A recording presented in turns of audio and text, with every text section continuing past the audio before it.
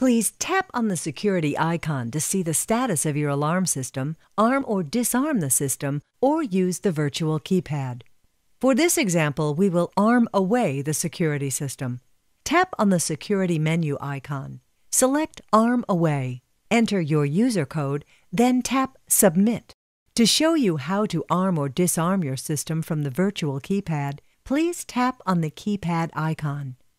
For this example, we will disarm the system. Type in your security system code on the virtual keypad and then tap the 1 key, which is the off icon.